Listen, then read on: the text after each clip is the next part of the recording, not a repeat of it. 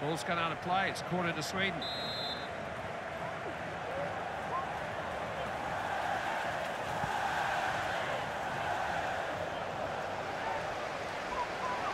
Well hit.